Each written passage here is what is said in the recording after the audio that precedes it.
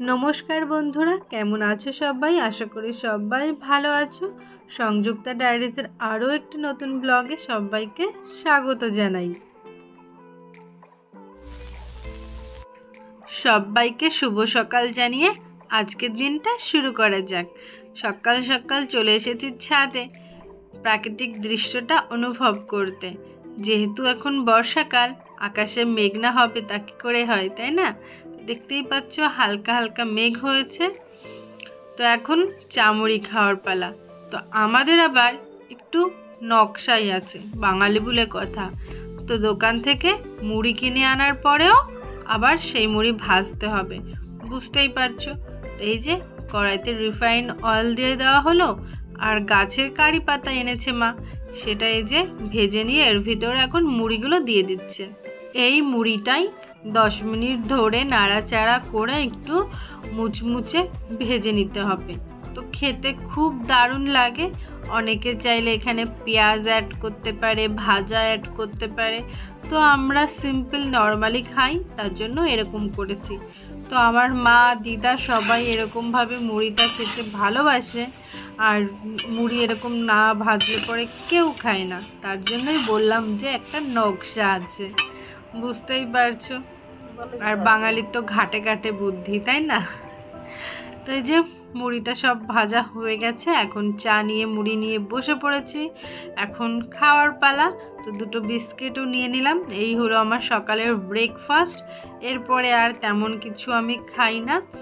চা খেতে খেতে বাইরে এসে দেখি খুব মেঘ করেছে। আর দেখতে দেখতেই বৃষ্টি শুরু হয়ে গেছে। আমাদের এখানে অনেক দিন পর এরকম ভারী বৃষ্টি হচ্ছে।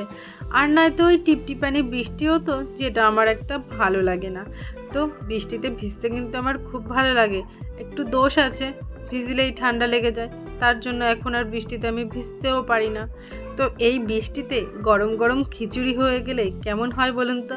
তো ভাবলাম বাড়িতে যখন সব কিছু আছে, আর অনেক দিন ধরে একটু ইচ্ছা ভুনা খিচুড়ি খাওয়ার, তাই চলে আসলাম রান্নাঘরে ভুনা খিচুড়ি তৈরি করতে।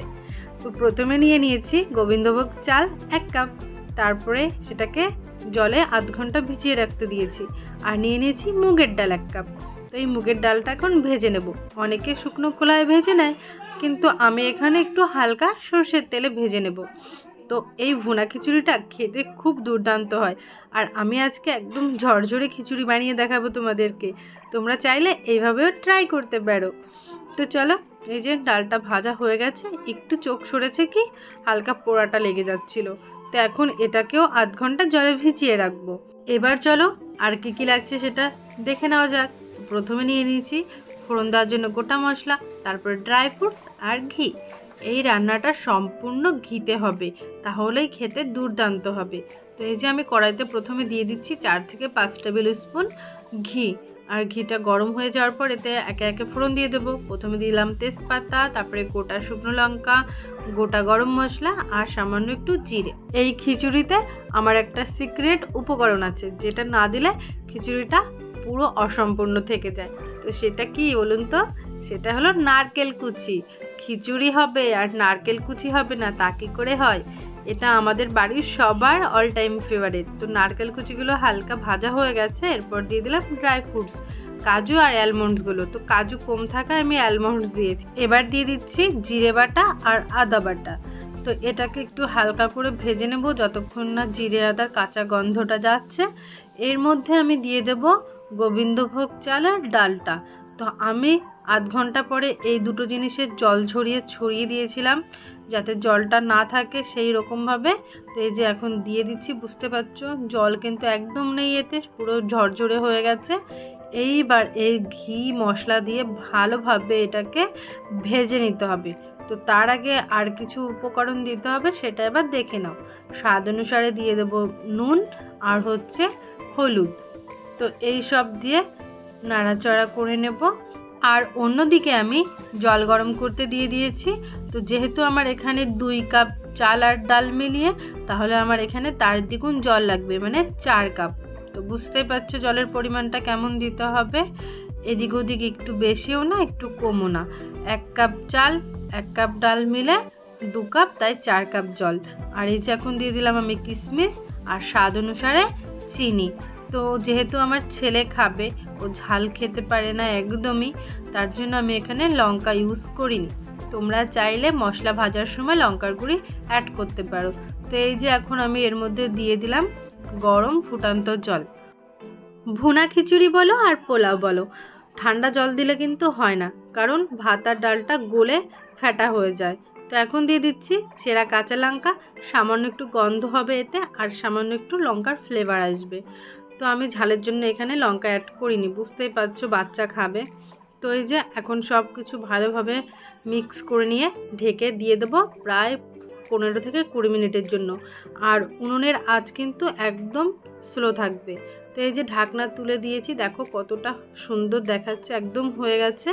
এবার এতে আমি ঘি ছড়িয়ে দেব আর সেটাকে মিশিয়ে নেব। তো দেখো, নিচে একদমই জল নেই, শুধু এই যে ভাত আর ডালের গায়ে লেগে আছে, তো সেটা নাড়াচাড়া করতেই চলে যাবে। তো এই যে গরম গরম ভুনা খিচুড়ি রেডি হয়ে গেছে, বুঝতেই পারছ কতটা ঝরঝরে হয়েছে, আর দেখতে কিন্তু খুব সুন্দর হয়েছে, আর খেতেও কিন্তু খুব সুন্দর। তো তোমরাও আমার মতো করে ট্রাই করতে পারো, একদম দুর্দান্ত হবে কিন্তু খেতে। তো আজকে আমাদের এই খাবারটা টেস্ট করে বলবে আমাদের তোজো বাবু তো এখন দেখাচ্ছি কতটা ঝরঝরে হয়েছে। দেখো, একদম জল নেই, কোনো কাদা ভাব নেই, খুব সফট আর ঝরঝরে হয়েছে। তো আমার মতো কে কে ভুনা খিচুড়ি খেতে ভালোবাসো কমেন্ট করে জানিও।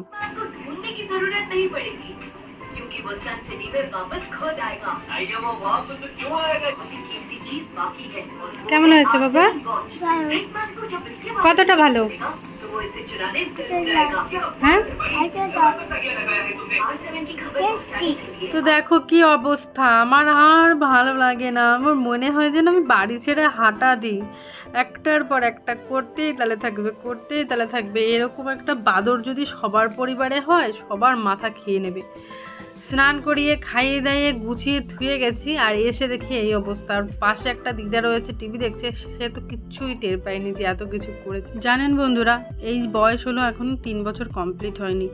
ওর পিছনে ছুটতে ছুটতে আমি পুরো নাজেহাল হয়ে গেছি। আর এদিকে দেখো, বাইরের দিক তাকিয়ে দেখে আরেকটা হনুমান এসে বসেছে গাছে। তো কষ্টে কষ্টে ফুলো ফুলো আমড়াগুলো খাচ্ছে। দেখেই মনে হচ্ছে অনেক দিন হয়তো খায়নি, খিদে পেয়েছে ওর। তো এমন সিজনে এসেছে, না আম আছে, না জাম আছে, না কাঁঠাল আছে, দেবোটাকে খেতে। তো আমাদের এখানে প্রায়শই এরকম হনুমান আসে। তো অনেকে তাড়িয়ে দেয়, মারে, ঢিল ছোড়ে। তো আমরা ওরকম না, আমরা বলছি যে এসেছে, থাক, খাওয়া হয়ে যাবে, সময় হলে ওর মতো চলে যাবে, ওকে আর তাড়াতে হবে না। মানুষের মানসিকতাই এরকম, কোনো কিছু দেখলে পরে গা জ্বালা করে। তো ঘরেতে আম ছিল, সেটা দিলাম, ওটাই নিয়ে ও খাচ্ছে আবার নিচের ডালে এসে। তো যাই হোক ওর মতো থাকুক। ভিডিওটি ভালো লাগলে অবশ্যই লাইক কমেন্ট শেয়ার করবে। আবার দেখা হচ্ছে নেক্সট ভিডিওতে ততক্ষণ ভালো থাকবেন, সুস্থ থাকবেন। টাটা!